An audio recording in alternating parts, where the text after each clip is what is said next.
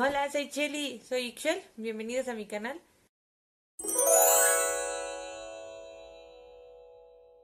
Hoy los quiero poner al corriente. Actualmente me acabo de mudar, les quiero contar todo lo que me pasó en la mudanza. Bueno, realmente no me pasaron muchas cosas, pero quiero que, que aprendan de mi experiencia. Estoy viviendo, bueno, me mudé de San Luis Potosí hacia la Ciudad de México. Bueno, al área metropolitana. Me acabo de mudar y les quiero contar de mi mudanza para quitarme eso de encima. La verdad es que todavía no acabo de mudarme. Si yo no tuviera vergüenza, les enseñaría cómo está mi casa de verdad destruida en este momento. Está en reconstrucción. Me pasaron varias cosas. Entre ellas es muy difícil em, encontrar una mudanza que se vaya de un estado a otro y que sea accesible. Yo encontré uno que era del mismo estado de San Luis y que hace viajes para todos lados. No exactamente es una mudanza, sino más bien es un camión que. Como les iba diciendo, eh, tengo, encontramos un camión de mudanzas que no es exactamente de mudanzas, pero nos sirvió para venirnos para acá. Fue de lo más accesible que encontramos. Fue bastante bueno, realmente el señor fue muy, muy amable y todo. Pero al ser un camión que no es de mudanzas, no sé qué tan seguro sea para tus pertenencias. Ahorita les cuento. Pero la cuestión es que se vino el camión con nosotros. bueno, nosotros íbamos en el carro siguiendo el camión. Todo muy tranquilo. Gracias a, a Dios mi hermana me fue a ayudar y mi cuñado también me ayudaron. Y a pesar de que se supone que yo ya tenía todo empacado, fue un show de todos modos hacer la mudanza porque tengo una niña, porque tengo cosas muy chiquitas y porque siempre tienes que tener cosas a la mano al final porque sigues viviendo en la casa. Y luego tienes que saber dónde las dejaste. Entonces nosotras nos inventamos un sistema, porque nos hemos mudado muchísimas veces, y nos inventamos un sistema en el que anotamos qué es lo que vamos poniendo en cada caja o una referencia de lo que va en cada caja, no todo exactamente, sino más o menos, para que tengamos un, una guía eh, medio guía de qué es lo que qué es lo que pusimos en cada caja y medio acordarnos. Pues la cuestión es que es eso. Nos medio acordamos, así que a menos que no hagas un inventario completo de todas tus cosas, realmente volverlas a encontrar está complicado. Y eso que marcamos las cajas, les pusimos cocina 1, cocina 2, cocina, aquí van electrodomésticos, aquí van no sé qué. No quisimos marcar las cajas como tal bien porque no sabíamos cómo iba a ser nuestra mudanza. La conseguimos dos días antes de mudarnos y no sabíamos o no confiábamos en que los de la mudanza se quedaran con cosas como me pasó en mi mudanza de Cancún a San Luis o me maltrataran cosas o supieran que eran las cosas y entonces les hicieran daño o se las quedaran. Solamente pusimos una lista eh, pequeña de qué es lo que corta y muy poco precisa de qué es lo que tiene cada que tenía cada caja y como ya cuando vimos la mudanza y que César se iba a poder ir con el chofer en la mudanza y que solamente era el chofer y nosotros, que nadie más iba a manipular las cosas y que llegando aquí nosotras las íbamos a poder bajar, pues no nos preocupamos mucho por eh, ya por porque llegaran a integrar las cosas o por cosas, por ejemplo, de valor que no queríamos echar al, al camión, nos lo íbamos a llevar en el carro, pero al ver que nada más íbamos a hacer el camión y nosotros directo desde allá hasta acá sin escalas y, y acompañados y todo, pues nos dio cierta confianza y ya echamos todo para allá. Entonces todo para el camión, pues. Entonces se acabó haciendo un revoltijo de cosas porque lo que queríamos que se fuera en el camión y lo que, que se fuera en el carro se acabó cruzando y se hizo un revoltijadero horrible. Háganlo con tiempo, por favor, háganlo con tiempo, si se van a mudar. entonces, eh, acabó siendo el inventario pues una un chiste. Acabó siendo un chiste. Y después de que fue un chiste el inventario y que no pudimos hacer de utilidad, cuando llegamos aquí estábamos tan cansados, fueron como cuatro horas en lo que cargamos el camión. Cinco, seis, fueron seis horas y media de trayecto porque el camión venía súper lento, pues porque traía la carga y porque aparte me imagino que siendo un camión no puede ir tan rápido. Entonces venía como 80, 90 kilómetros por hora el señor. Y nos hicimos seis horas y media en lugar de unas cinco horas que se hace de San Luis para acá. y después de eso llegamos y descargamos y fueron otras cuatro horas, así que empezamos a las 8 de la mañana y terminamos 8 y 9, 10, 11, 12, 13, 8 y 13 horas como a las 10 de la noche. Como a las 10 de la noche ya libres estábamos con las cosas en la casa amontonadas, cajas por aquí por allá y cuando llegué a la casa y bajé, bueno, es un departamento. Cuando llegué al departamento y bajamos las cosas de, la, del camión hacia la casa, me di cuenta de que dentro de mis cosas, mis almohadas de mi cama venían sueltas en el camión. Fue un error, no se guardaron, eh, por eno no se guardaron, venían sueltas y total, llegué aquí el domingo. Afortunadamente mi hermana vive cerca. Me fui con, a casa de mi hermana, nos quedamos y el lunes llegué aquí en domingo. El domingo, el, me fui a dormir a casa de mi hermana domingo y el lunes vengo ya a mi casa para ya empezar a acomodar y dormirme ya en mi casa. Les estaba diciendo que entonces el lunes vengo ya, me quedo aquí en la casa, puse la cama, acomodé las cobijas, acomodé mis almohadas, bla, bla, bla.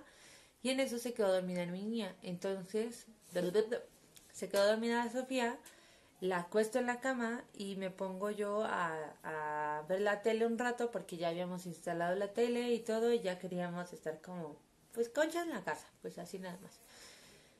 Em, ya era tarde porque había llegado mi esposo del trabajo y este y en eso acostados empieza a decirme él que le picaba algo que si tenía que tenía algo en el cuello que si se lo podía checar y ya voy de no pues no, no se ve nada no se ve nada y a los dos minutos me dice, no, chica, es que me pica algo. Y ya vi y traía unas, así tres ronchas seguidas en el cuello.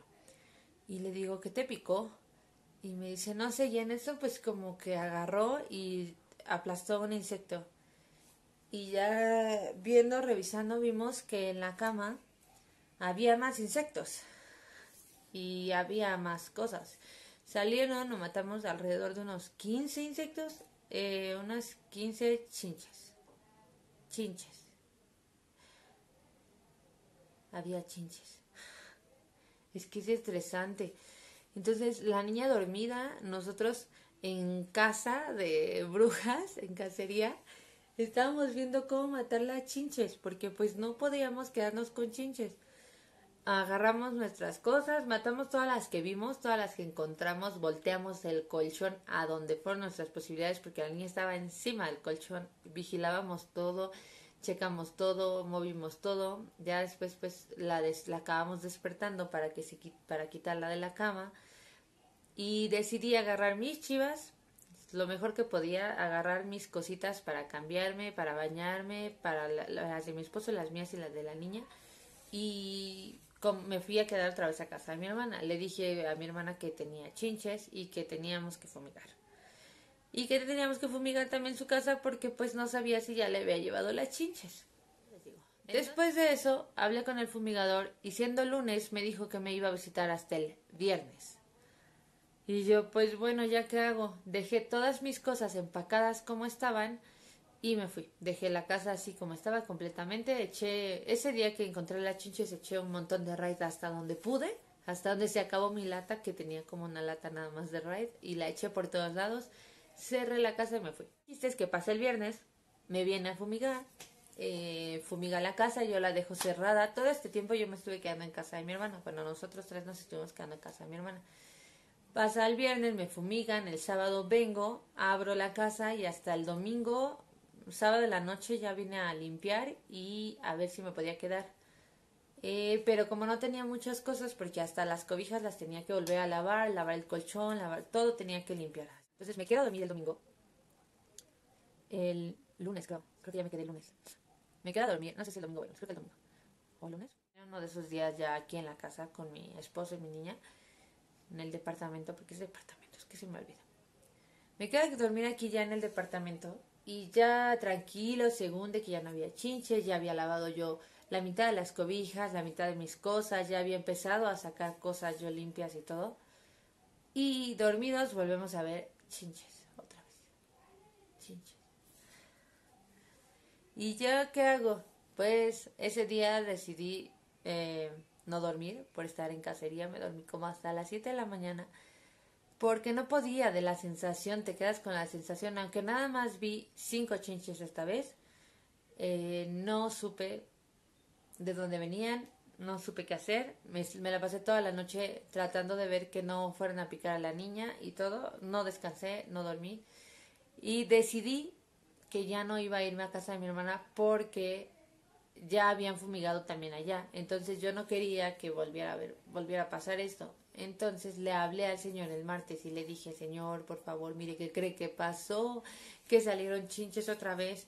Y le dije así, chiquitas, grandes, bla, bla, bla, le conté y me dijo, no, eso está muy raro porque cuando fuimos no vimos chinches, no vimos de dónde saliera, no vimos su nido, no lo encontramos, no vimos nada en la pared, pero mira, la pared es así. Y las chinches son de ese color. Entonces es muy difícil verlas. Pero el señor fumigador no las encontró. ¿Y qué pasó? Pues decidí quedarme aquí me dijo, voy a irte a fumigar el viernes. Y le dije, ok, ¿cuánto me va a cobrar? Y me dijo que no me iba a cobrar porque pues el chiste era que las iba a fumigar, las iba a exterminar. Entonces, bueno, no me cobró, pero me tenía yo que esperar hasta el viernes otra vez para que me volviera a fumigar. Ya después de eso, eh, toda la semana me la pasé aquí. Bueno, dormimos aquí ya nada más para no llevarle chinches allá. Y cuando fumigaron aquí, sí me dijo que iba a poner algo más tóxico, que no, que no me quedara aquí con la niña, sobre todo por la niña. Entonces me fui otra vez a casa de mi hermana y me quedé otra vez otros dos días. Ya por fin hoy vine y ya por fin me pude quedar a dormir en mi casa. Parece ser que ya no hay chinches, parece ser que ya fueron erradicadas, que ya por fin no hay chinches en mi casa. Y ahí va la, la lección, pues, dentro de la mudanza. No manden cosas sin empacar. ¿Por qué? Porque las chinches se pudieron haber brincado tranquilamente las seis horas y media del trayecto que tuvieron, o siete horas trepadas arriba del camión. Tuvieron muchas horas para pesarse las chinches del camión a las cosas. Ahora, yo no sé si fueron las chinches las que se pegaron en el camión, porque es muy factible la idea. O que en el departamento había chinches. Entonces, hay esas dos opciones.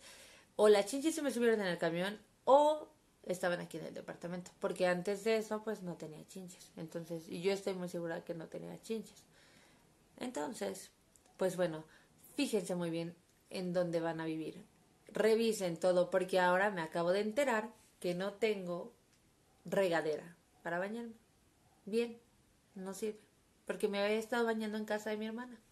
Y ahorita que me quise bañar, no sirve la regadera, tiene fugas, las paredes están sucias, Fíjense muy bien cuando se vayan a mudar, de verdad. Fíjense en todo. Abran las llaves, que haya agua corriente, que no salga horrible el tinaco, de verdad que sí, porque uno luego piensa que sí está todo chido y ya cuando te mudas y empiezas a vivir, entonces es cuando salen los problemas. Y después te dicen que te lo entregaron todo muy chido. Afortunadamente, a quien le renté, pues le pude explicar la situación de qué es lo que estaba pasando y em, él se va a encargar de arreglar las cosas que le fallan al departamento. Pero bueno, pasando a lo importante, tengan mucho cuidado cómo envían sus cosas. Si van a hacer un inventario, háganlo bien, no a medias. Dejen siempre un servicio para llegar y un servicio para salir de donde estén.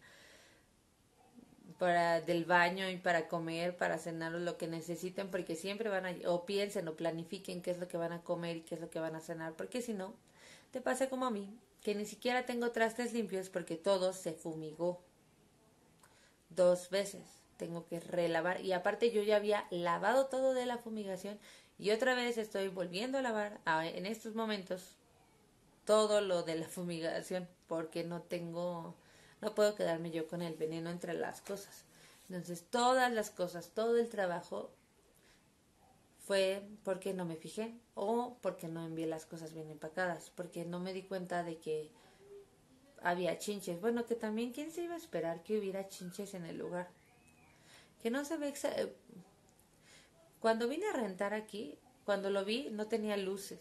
El, o sea, sí tenía luz, pero no tenía focos. Y lo vi las dos, tres veces que lo vi, lo vi sin focos y no se me ocurrió que hubiera que fuera a tener un problema de chinches o de insectos o de algo así. Nada más vi el espacio más o memenos, dije, mmm, si caben mis cosas. Bien. Y lo renté. Y lo cierto es que a lo mejor si hubiera habido luz, si me hubiera fijado, me hubiera, hubiera abierto las llaves de la regadera, hubiera achicado las fugas que tiene tanto el lavamanos como en el fregadero.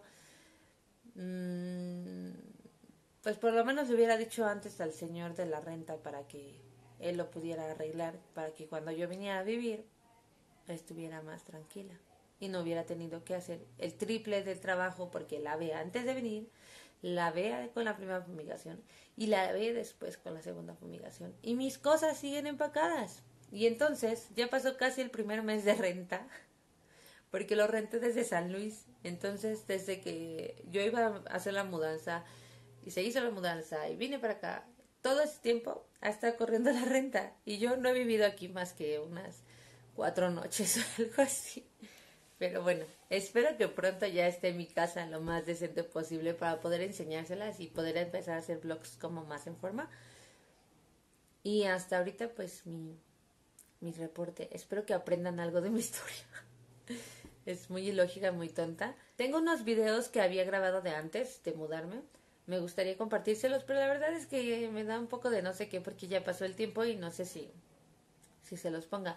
Tengo un video que les hice de cómo hice un pastel y lo hice con fondant y todo y le hice un relleno.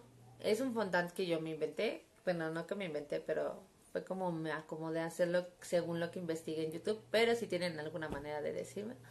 Si quieren que se los enseñe cómo lo hice, pues me dicen y si creen que me faltó, pues me corrigen y me envían cómo debería de hacerse. Lo puedo probar para ver si me sale porque me gustan esas cosas. También tengo un video de cómo era mi rutina, cómo era mi casa, si es que les interesa o les gustaría ver cómo era mi casa. Me gustaría, este, pues mi rutina está muy X, pero cómo era mi rutina antes de el desmadre que tengo ahorita.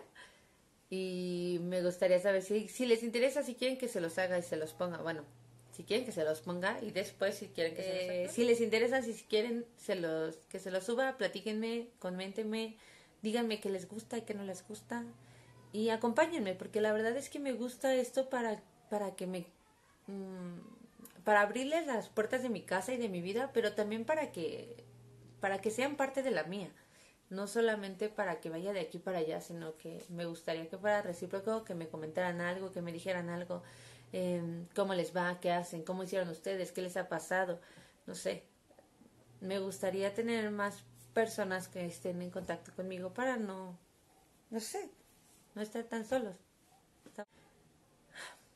Espero que les haya servido de algo, que por lo menos se rían de mi tristeza y de mis problemas, porque es divertido. Ya que le hago, la verdad es que me ha servido como anécdota, como experiencia. Los quiero mucho. Suscríbanse si les interesa y acompáñenme. Bye.